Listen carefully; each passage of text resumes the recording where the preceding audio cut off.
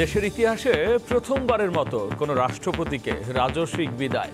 সাবেক রাষ্ট্রপ্রধান মোহাম্মদ আব্দুল হামিদকে গার্ড অব অনার, দশ বছর বর্ণাঢ্য দায়িত্ব পালন শেষে জানালেন দেশবাসীর প্রতি কৃতজ্ঞতা।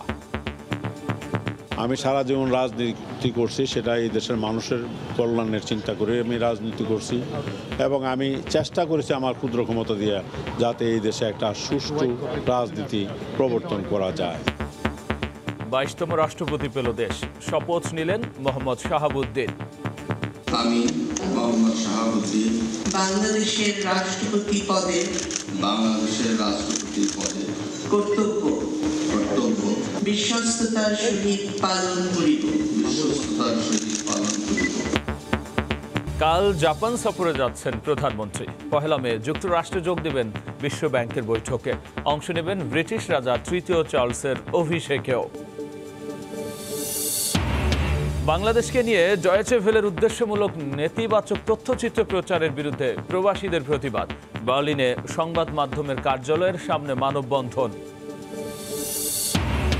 এবং চট্টগ্রামে অটোরিকশায় সিলিন্ডার বিস্ফোরণে একই পরিবারের পাঁচজন দগ্ধ, বার্ন ইউনিটে ভর্তি। শ্বাসনালী পুড়ে যাওয়ায় সবার অবস্থা আশঙ্কাজনক, জানালেন চিকিৎসক।